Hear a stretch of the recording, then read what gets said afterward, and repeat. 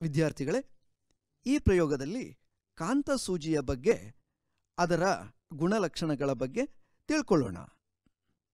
ಈ ಪ್ರಯೋಗಕ್ಕೆ ಬೇಕಾದ ವಸ್ತುಗಳು ದಂಡಕಾಂತ ಕಪ್ ಅಥವಾ ಬೌಲ್, ನೀರು, ಸೂಜಿ, ಸ್ಟೈರೋಫೋಮ್ ಬಾಲ್ಗಳು. ಪ್ರಯೋಗ. ಈ ಪ್ರಯೋಗದ ಮೊದಲ ಹಂತದಲ್ಲಿ ಸೂಜಿಯನ್ನು ಕಾಂತೀಯಗೊಳಿಸಬೇಕು. ಇದಕ್ಕಾಗಿ ಸೂಜಿಯ ಉದ್ದಕ್ಕೂ ದಂಡಕಾಂತದಿಂದ ಎಡದಿಂದ ಬಲಕ್ಕೆ ಒಂದೇ ದಿಕ್ಕಿನಲ್ಲಿ ಉಜ್ಜಬೇಕು. ಎಚ್ಚರಿಕೆಯಿಂದ ಗಮನಿಸಿ, ಹಿಮ್ಮುಖವಾಗಿ ಉಜ್ಜಬಾರದು. ಸೂಜಿಯನ್ನು ಕಾಂತೀಯಗೊಳಿಸಲು ಕನಿಷ್ಠ ಮೂವತ್ತು ಬಾರಿ ಒಂದೇ ದಿಕ್ಕಿನ ಉಜ್ಜುವಿಕೆಯನ್ನು ಪುನರಾವರ್ತಿಸಬೇಕು.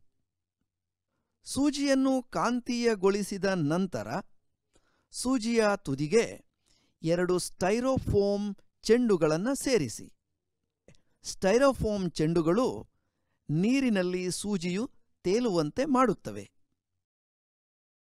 ಈಗ ಬಟ್ಟಲಿನಲ್ಲಿ ಸ್ವಲ್ಪ ನೀರು ತುಂಬಿಸಿ, ನೀರಿನ ಮೇಲ್ಮೈಯಲ್ಲಿ ಸೂಜಿಯನ್ನು ಇರಿಸಿ. ಸೂಜಿಯು ಉತ್ತರ ದಕ್ಷಿಣ ದಿಕ್ಕಿನಲ್ಲಿ ವಿಶ್ರಾಂತ ಸ್ಥಿತಿಗೆ ಬರುವವರೆಗೂ ಚಲನೆಯಲ್ಲಿ ಇರುವುದನ್ನು ನೀವು ಗಮನಿಸ್ತಾ ಇದ್ದೀರಿ. ಕಾಂತಸೂಜಿಯನ್ನು ಬಳಸಿ ಸೂಜಿ ಸೂಚಿಸುವ ದಿಕ್ಕನ್ನು ನೀವು ಪರಿಶೀಲಿಸಬಹುದು.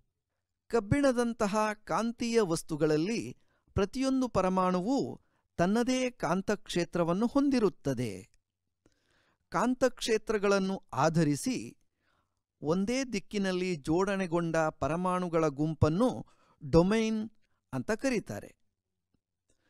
ಕಾಂತೀಯತೆಯನ್ನು ಆರೋಪಿಸದಿದ್ದಾಗ ಈ ಕಾಂತೀಯ ಡೊಮೈನ್ಗಳು ವಿಭಿನ್ನ ದಿಕ್ಕುಗಳಲ್ಲಿ ಮುಖ ಮಾಡಿರುತ್ತವೆ.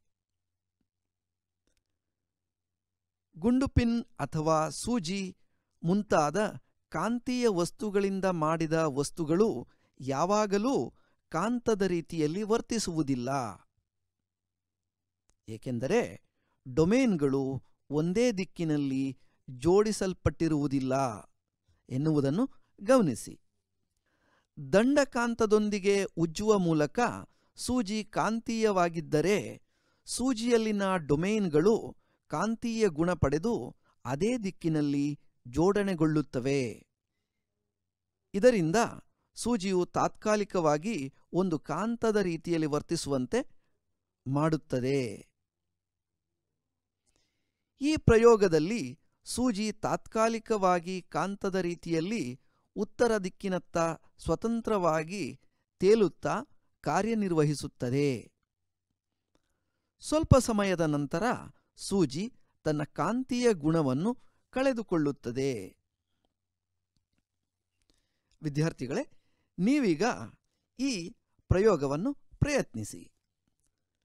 ದಾರ ಬಳಸಿ ಕಾಂತಸೂಜಿಯನ್ನು ಸ್ವತಂತ್ರವಾಗಿ ತೂಗುಬಿಡಿ.